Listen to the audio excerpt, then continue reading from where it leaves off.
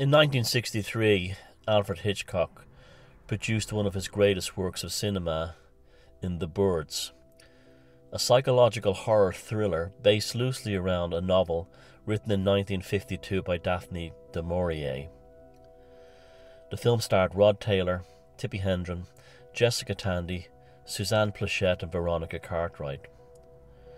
Although Hitchcock based the movie plot upon the narrative within the novel by Daphne du Maurier, he fleshed it out and made it more into a deeper dive than the initial story, and resulted in the birds becoming Hitchcock's tour de force of Jungian psychology, especially in the context of archetypes and individuation. The movie begins in the early 1960s at a San Francisco pet store, where millionaire daughter of newspaper owner and socialite Melanie Daniels is to meet a lawyer who is looking to buy Lovebird's sister's 11th birthday. Mitch recognizes Melanie from an unflattering incident reported in the newspapers concerning her activities during a scandalous event in Rome. Mitch then pretends to be a shop assistant, and then a conversation ensues around some canaries. The symbolism here clearly being that both characters are like canaries in a coal mine. The initial meeting of the pair of them is setting the tone as a kind of a warning or precognition of the dangers to come. Although the dangers are as much psychological as they are caused by birds. Mitch leaves the store without buying anything. Melanie, feeling somewhat guilty of how she treated him, and perhaps finding him also attractive, purchased the Lovebirds on his behalf and tries to deliver them to Mitch's apartment in San Francisco, only to find out that he's away at the family's farm in Bodega Bay. Melanie drives there with the Lovebirds and meets up with a local teacher called Annie Hayworth. It turns out that Annie had previously dated Mitch, but it ended due to Mitch's cold mother, who disliked any woman coming into Mitch's life. The subtext here is that Annie is more akin to a maternal figure for Mitch, rather than a girlfriend, being, in the context of the Jungian archetype, a school teacher, and the rivalry much further than beyond Oedipus complex, or anger or jealousy towards the same parent. The underlying theme, rather, is rooted in the Jungian concept of the anima, which makes up the totality of the feminine unconsciousness and its psychological qualities that a man possesses. Hence, Annie, being the school teacher, represents a maternal rival to Mitch's mother, but also Mitch himself represents the suffocating power of his mother Lydia and her anima upon him. This is actually the element which drives Melanie to bring the two lovebirds to Bodega Bay. A resolving of the anima and animus within her, which is subconsciously reflected by the pair of lovebirds. Upon reaching Bodega Bay, Melanie rents a boat and crosses over the water to the opposite side to discreetly leave the lovebirds at the Brenner's farm. The Charon symbolism of the Greek crossing the river Styx is also highly prevalent here. Melanie is not going to come back across the bay the same person she was as she went over. Mitch spots Melanie rowing back to Bodega Bay, and as she approaches the wharf, a seagull attacks her. Mitch, who happened to be standing on the wharf during the attack, is both surprised and horrified, but also puzzled as to why the seagull would attack Melanie. Inside the cafe, Mitch tends to Melanie's wounds. And then Mitch's mother arrives after seeing Mitch's car outside the cafe. Melanie returns to Annie's house and asks to spend the night. At this point, the two women bond in terms of their relationship with Mitch, and both convey an element of not being fully romantically involved, and it's more a case of completing psychological needs in both of them, rather than a straightforward romantic liaison on the behalf of either woman. Back at the Brenner farm, Lydia's hens suddenly are refusing to eat. This indicates that the maternal integration of the household is psychically disrupted by the presence of a sudden arrival of another powerful but psychically unresolved female entering into the equation. Melanie is also becoming something of a surrogate emotional mother to Mitch's young sister Kathy, while she herself is on the cusp of womanhood. This is also another powerful factor. Melanie is comfortable with the role, while Lydia becomes increasingly uncomfortable as she's losing her dominant maternal grip upon the household, and psychically, the integration maintained by her in the wake of her late husband's death upon the family, and in particular her relationship with Mitch, is beginning to shatter.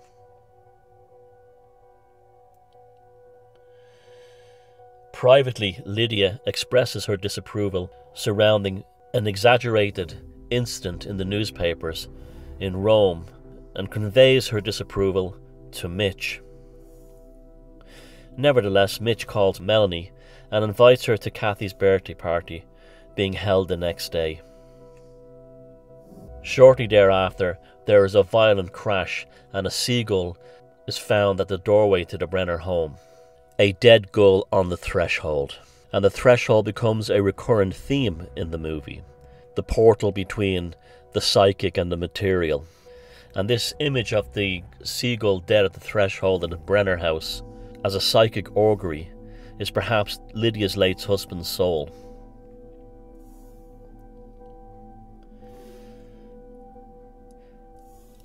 At Kathy's birthday party, Melanie privately tells Mitch about her troubled past. The event, which caused great scandal amongst San Francisco high society, was exaggerated by the rival newspaper owner in order to embarrass her father and family. Nevertheless, the incident involved Melanie submerging in the water of a fountain in Rome and then coming out and realizing that her values were different.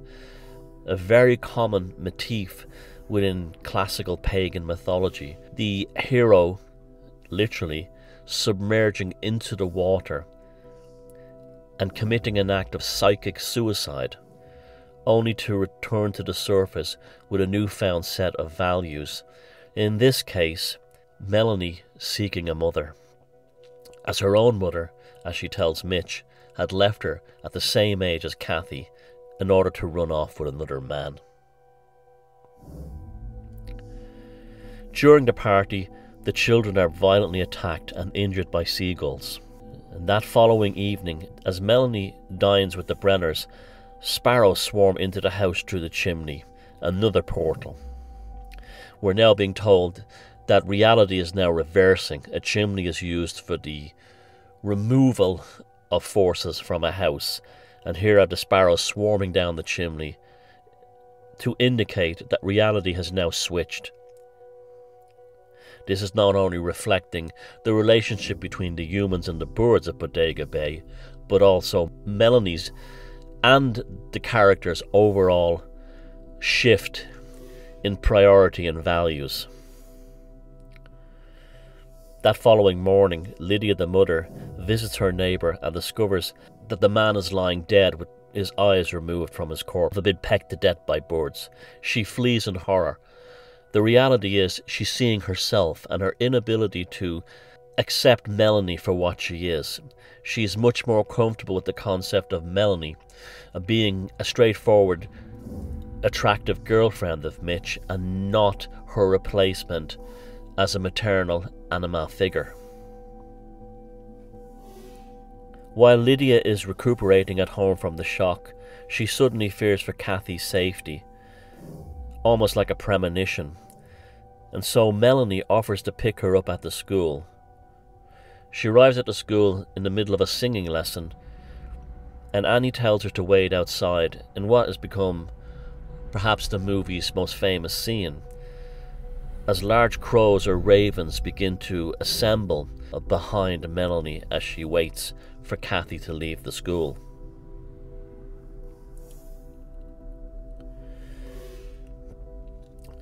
She looks around and now anticipating a violent attack by the crows, she warns Annie in the classroom, and they evacuate the children by running down the hill back into Bodega Bay, the crows begin a terrifying scene of attacking, injuring several children. During the chaos, once again, Mitch finds Melanie at the restaurant, and a powerful scene ensues where a mother with two children but no man around doesn't want to hear about the attacks of birds and gulls. She behaves as if she didn't want her children to hear the stories, as it might frighten them.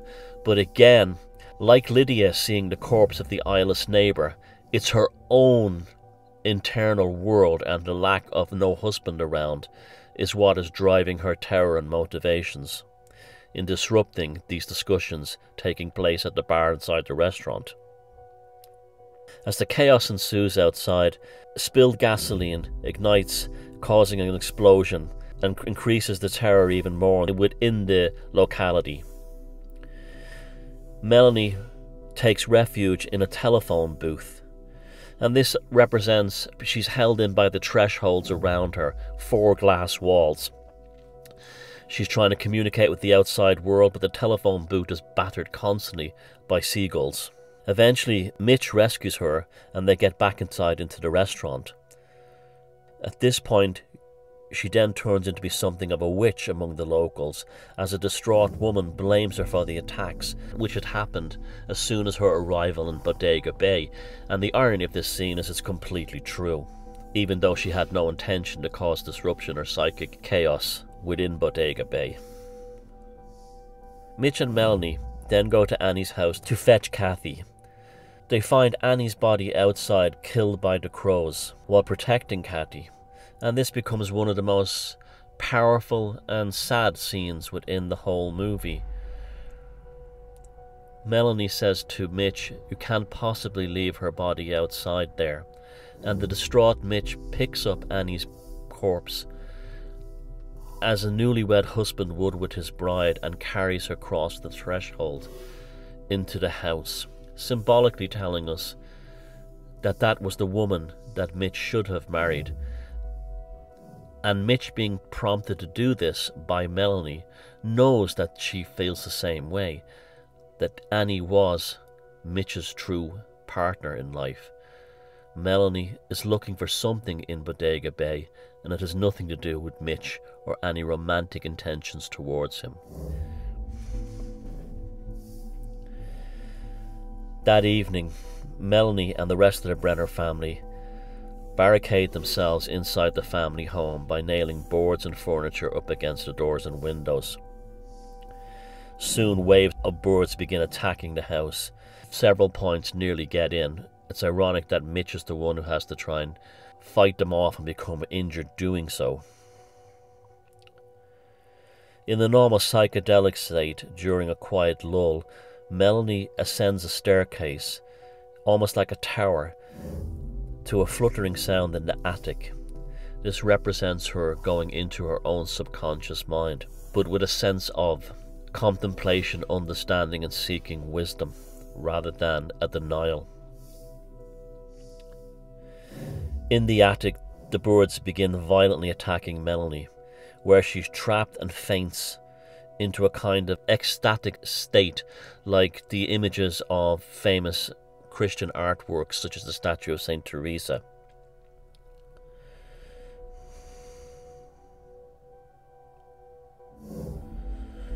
The family then decide to leave the house. Mitch goes outside and readies Melanie's car for their escape.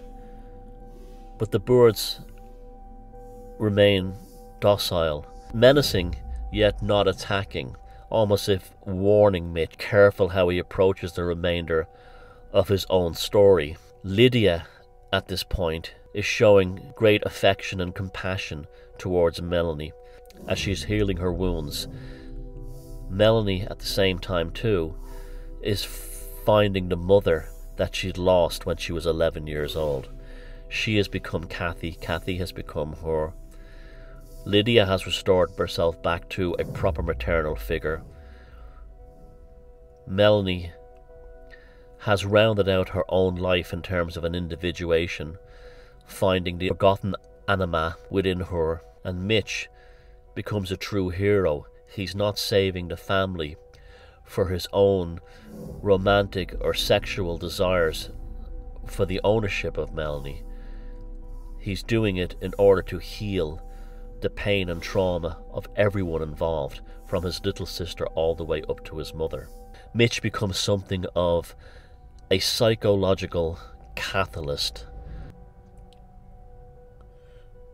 The car radio reports that bird attacks on nearby communities such as Santa Rosa are happening and that the military is now involved.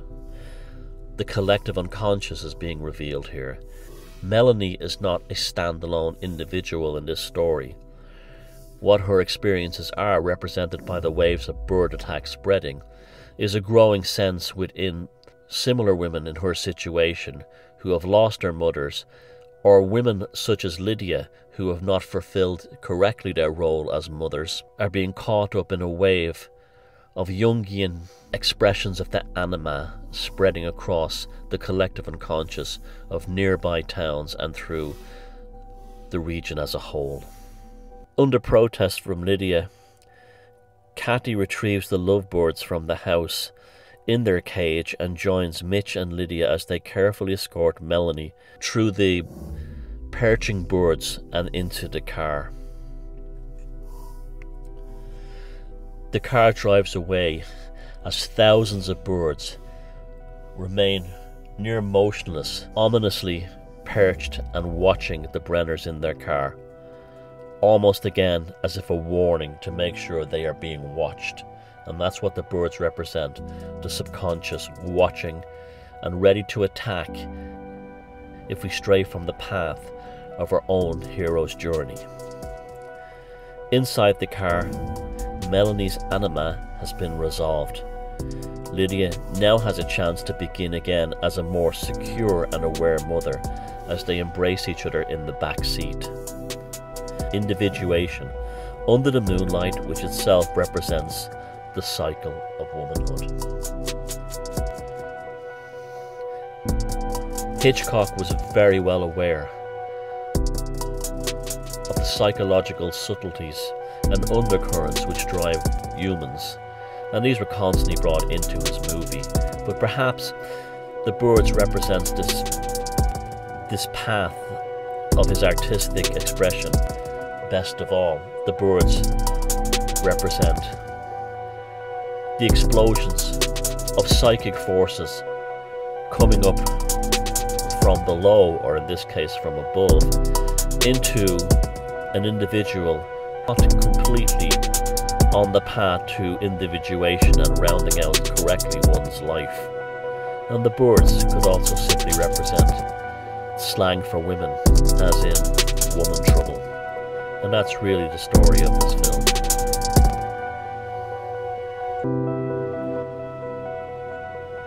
A classic case of as above, so below.